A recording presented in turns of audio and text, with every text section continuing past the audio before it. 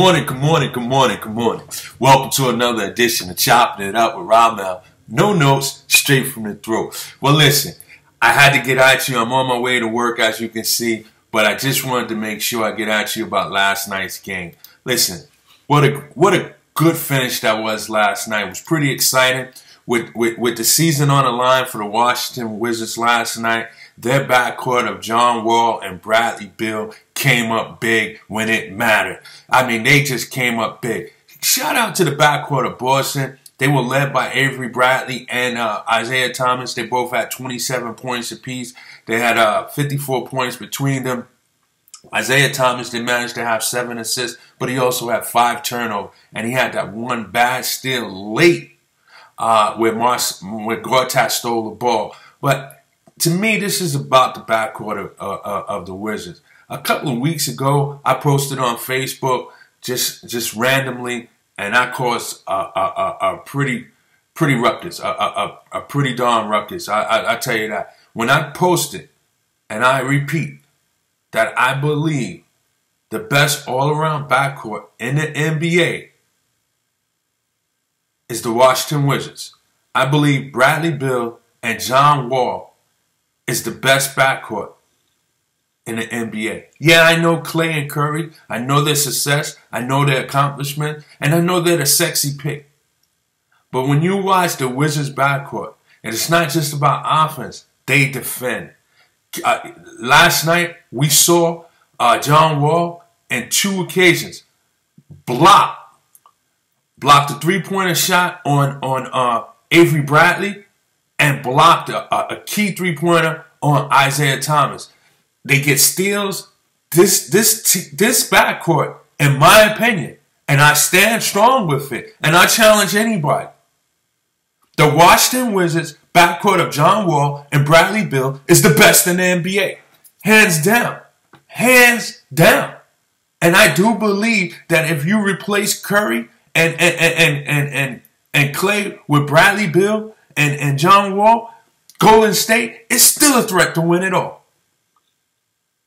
But if you put Klay and Curry on Washington, I don't think they go no further than what we see right now.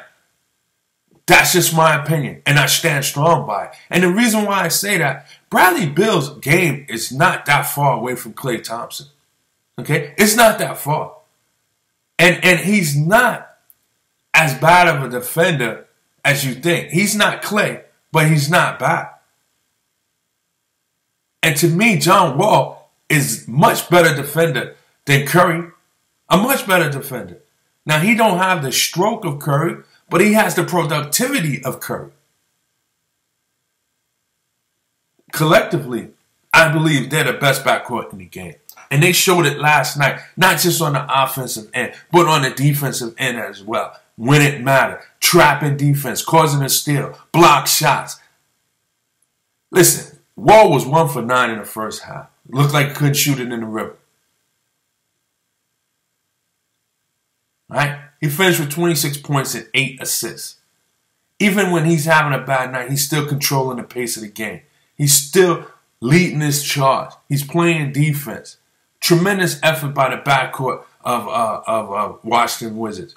Uh, Bradley Beal, 33 points, 5 assists. Yeah, oh, by the way, John Wall had two blocks. Bradley Beal had uh, he he got credit for a steal, but he was he forced a couple of steals. Shout out to Keith. He, he, he agrees with me. He believes that the backcourt of Washington Wizards is the best in, in, in the NBA. I agree with that statement, Keith. The fact that you agree with me makes it possible.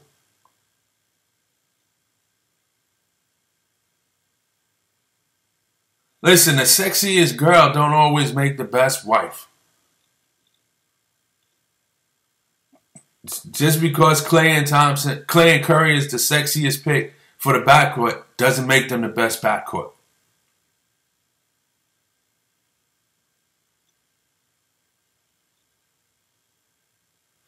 John Wall said he wasn't going to be denied at his house. Boston Celtics came there not as humble as they should be, but they came in there all dressed in black, talking about it's a funeral. Come on. but they almost got the job done. But almost is not good enough. Uh, Washington, good win at home to make this a best of one on Monday night. It should be must see TV. Should be fun to watch. Uh, I think Boston is going to win the game, but I'm rooting for Washington. And and I really think that it's because it's at home. I mean, these guys have faced four times in the regular season, six times in the playoffs, and each team has won on their own home court. Why should that change now? But I'm rooting for Washington. I'm rooting for Washington. And the reason why I'm rooting for Washington, I actually like Isaiah Thomas a lot. You know, I, I, I would love to see Boston uh, uh, get there just because of what he's gone through, and I think he should be an MVP candidate. Uh, but the reason why I'm going with Washington, because I think Washington will give Cleveland a better fight. I just don't want to see Cleveland cakewalk through the finals. And and I just think that they'll beat Boston in five and maybe Washington in six. That that's how I feel about it. Uh I I I'm I'm rooting for Washington to pull off the upset come Monday night. But if you haven't, if you're just tuning in, I'm going to repeat that last night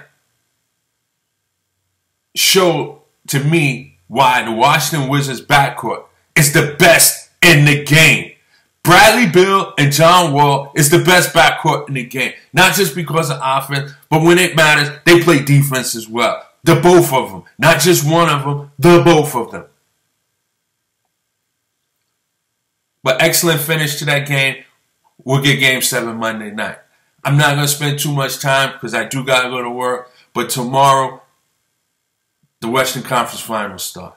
You got Golden State and San Antonio. This is what everybody thought. This is what we came to see. First game of the season, San Antonio opened up with Golden State. They blew Golden State out by 40. They made a statement. Let's see how they look come Sunday. I got Golden State winning this in six. In six. Pop is the master of adjustments and coaching, but he's going to have his hands full against this team right here.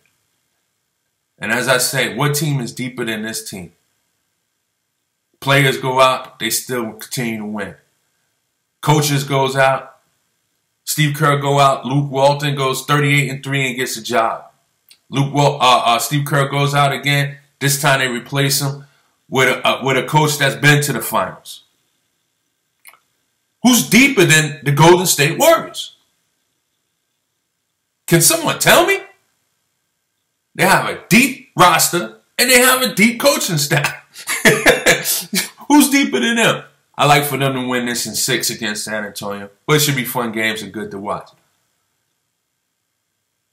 I do want to move along and touch on it the Mets and the Yankees. Matt Harvey going through his stuff off the field issues. The Dark Knight, it's not looking like the Dark Knight. He he comes back after apologizing to his teammates, after serving his three game suspension. He comes back and gives up five runs in, in, in, in less than six innings. Three bombs. I don't know. Is this guy mentally damaged? Was it just a bad night? Can he shake it off and get the Mets pointing in the direction that they need to be heading as they lose last night 7 to 4? Is he finished? And have the Yankees hit a wall? I think they have a three game uh, losing streak right now. They lost to the Houston Astros last night, which is one of the better teams in the league right now.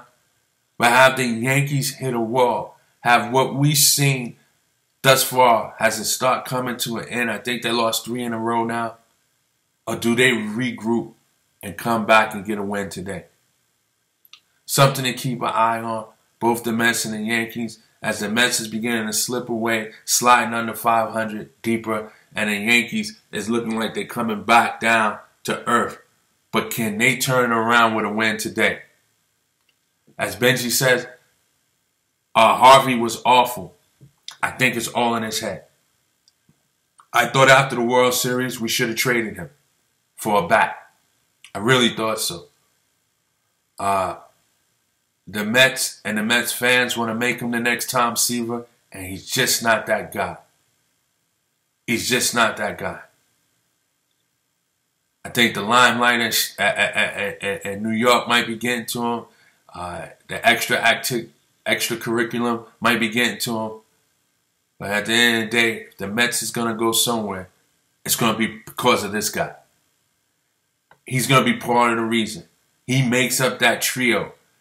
Him, Syndergaard, and DeGrom. Could be one of the best trios in baseball when healthy, physically as well as mentally. But Matt Harvey's got to turn it turn it around. The Mets boast three aces, guys. Three aces. And they need them all to play like aces because they don't have aces in their lineup. Their bats are weak. So we need Matt Harvey to be Matt Harvey. The Dark Knight must return. Greg, shout out to Greg. He says the Warriors going to win it all. I agree. He says the Yankees going to win today. The Yankees need to win today because everything that they've achieved thus, thus far, if they go on a four-game losing streak, five-game losing streak, it's going to start getting us to start thinking, is this the Yankees that we know?